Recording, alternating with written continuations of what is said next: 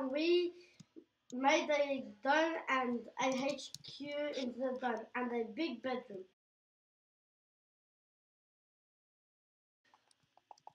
I also made the large bedroom.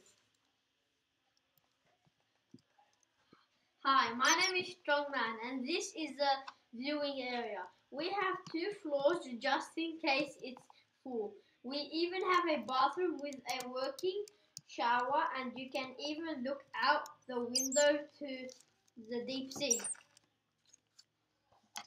Hi, my name is Captain Minecraft, and I made the HQ in the bathroom.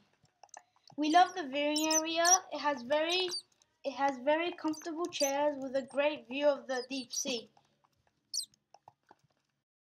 Our food is cooked, plus skewer and snailfish sauce. Thank, for watching!